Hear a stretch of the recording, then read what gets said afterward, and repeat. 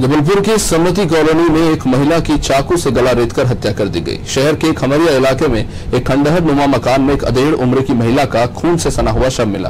पास के पड़ोसियों ने इसकी जानकारी पुलिस को दी थी।